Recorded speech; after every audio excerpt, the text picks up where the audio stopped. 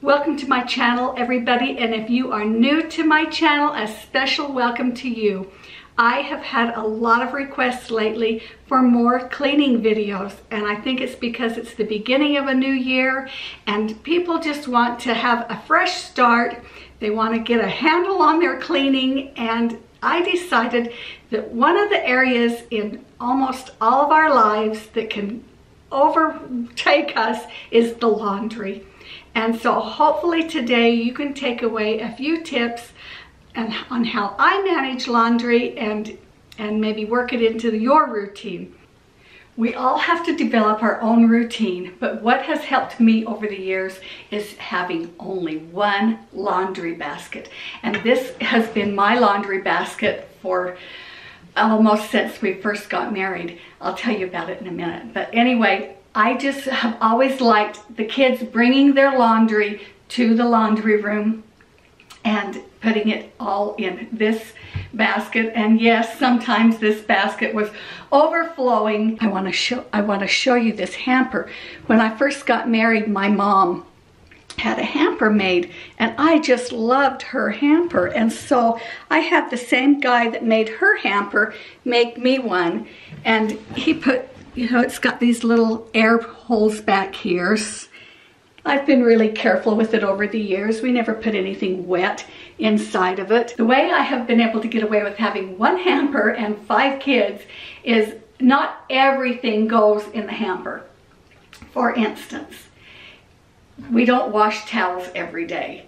And so when we do wash towels, we just gather them from the towel rack and bring them in and wash them immediately, run them through the washer dryer, but hang them back up. So I don't have to fold the towels and we don't have to have more hampers in the house. And it just works out really well for us. Now, yeah, sometimes the kids need to bring a towel up because it gets soiled. And great, put it on top of the washing machine and I'll wash it as soon as I can. But we just don't put wet towels in the hamper and then we don't have that stinky uh, musty smell in the house. We pretty much do the same thing with our bedding. When our bedding needs to be changed and washed, we will just pull it right off of the bed, put it straight into the washer, and when it's dry, we put it right back on the bed. And so that eliminates having to fold sheets. Everybody likes folding fitted sheets, right? No, said no one. So we don't have to do that very often. We just put it right on the bed. I do keep an extra set of sheets in the linen closet and when the ones on my bed are wore out, then I'll start using the new set of sheets. But I don't rotate my bedding every week with a different set of sheets. I just wash and put it back on the bed. I don't know how often you change your sheets, but in my house, it's pretty much every two weeks.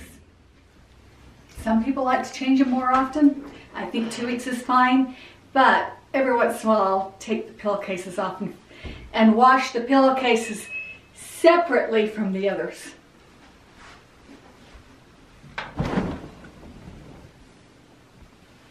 It's a good thing to take your clothes out of the dryer and fold them or put them on the bed right away.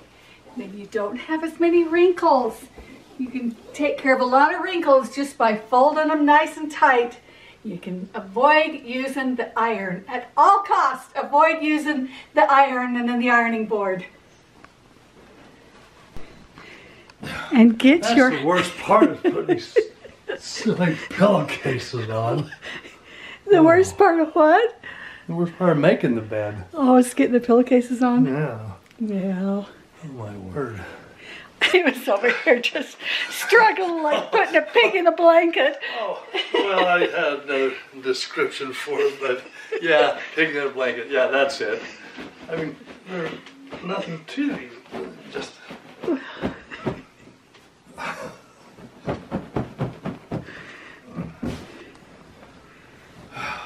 I'm tired. I have to go to bed.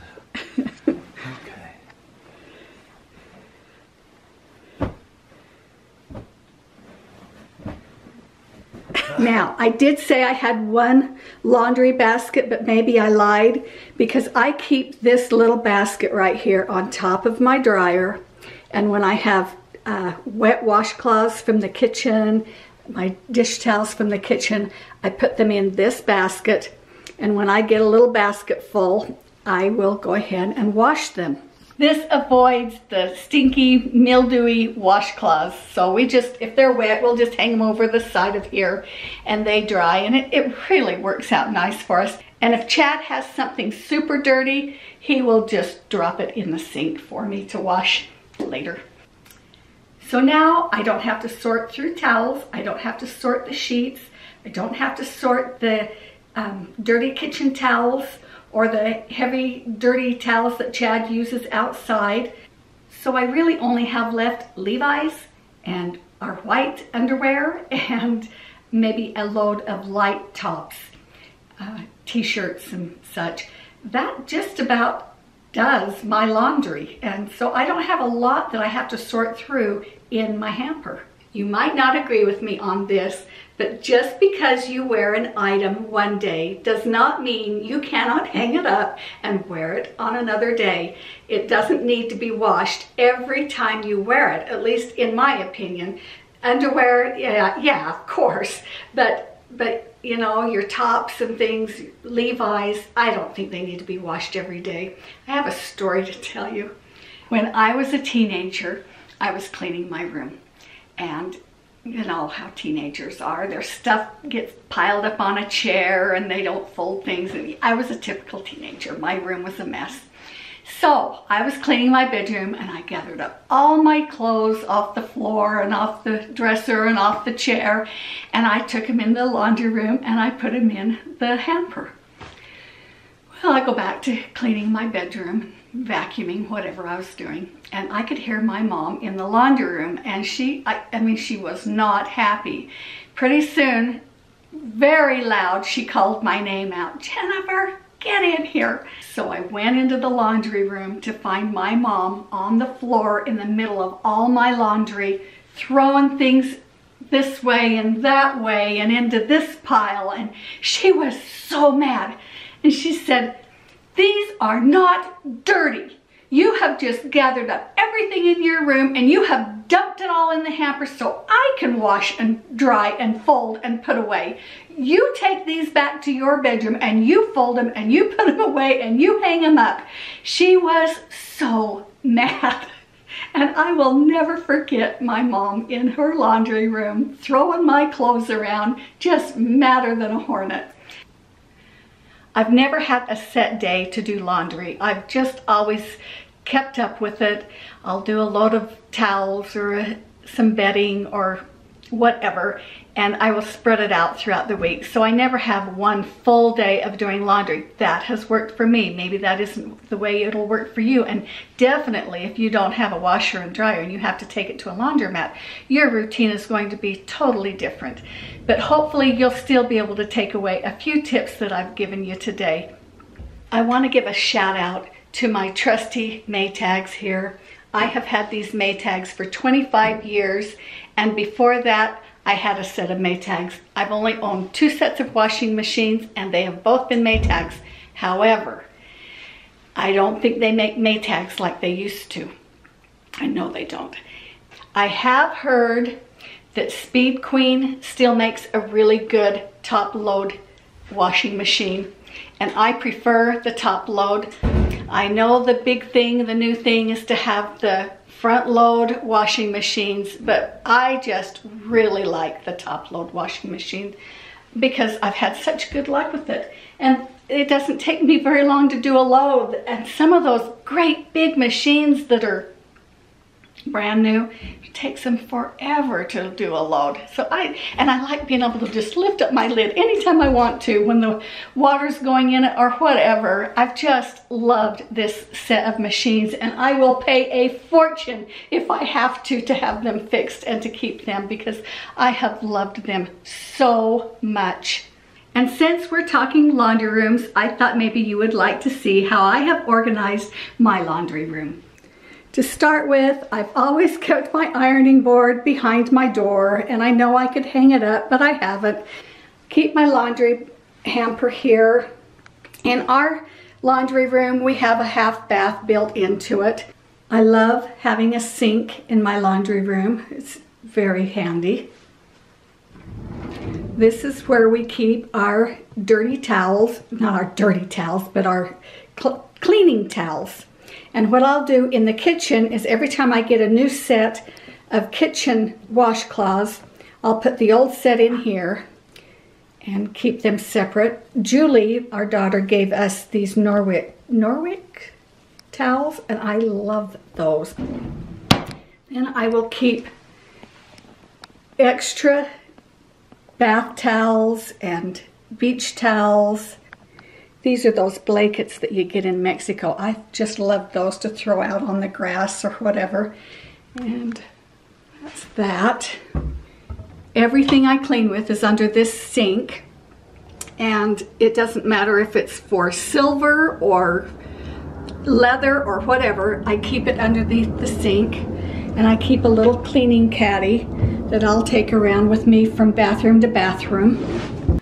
Up above my washing machine is where I keep extra cleaning supplies right up there. And I like to buy this liquid and I just pull it out here. Let's see. I keep this one there.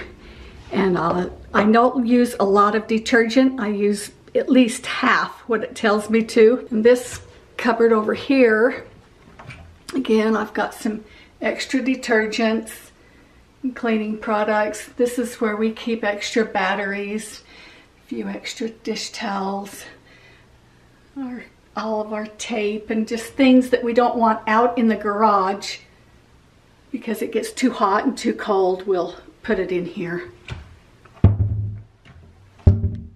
It probably would have been nice over the years to have a hanging bar, but we have used the shower curtain rod in our bathrooms to hang clothes that we didn't want going in the dryer, or I will put and lay a top out on top of my washer or my dryer, or I'll put them outside on the chairs on the patio. Uh, that's the other thing that would be nice to have is a line to hang your clothes on. I don't know why we haven't done that over the years. I've always wanted one, and my mom had one, my grandma had one. That would be cool. Do you remember the wringer washing machines? My mom never used a wringer washing machine, but my sister did. When my sister first got married, somebody gave her an old wringer washing machine, and she was always scared that I would put my hand in it. And I remember my grandma always had a wringer washing machine. And the same thing, she was um, really protective of her little grandkids and she didn't want anybody to get their hands caught in that wringer washing machine, you know, when you put the clothes through and it. Anyway, if, if, you, if you know what I'm talking about, you know what I'm talking about. If you don't, it's okay. I hope I've been able to help you in some small way. None of this is original to me. Everything I do, everything I've learned, I learned from my mother. I miss her so bad. I want to tell you a really quick story about her. Just before she died, maybe three or four years before she died, she called me and she said, Jennifer, I want to tell you something. What? I've decided I'm going to quit swearing. That's awesome, Mom.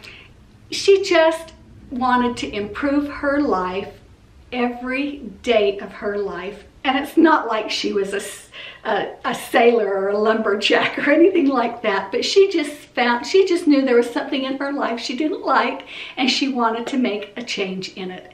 And I just think she is an absolute angel and she has really motivated me. And as I get closer to the age that she was when she told me that, I thought, yeah, every year we can make some little changes in our life, even if it's just a small one that we're not going to say a naughty word anymore.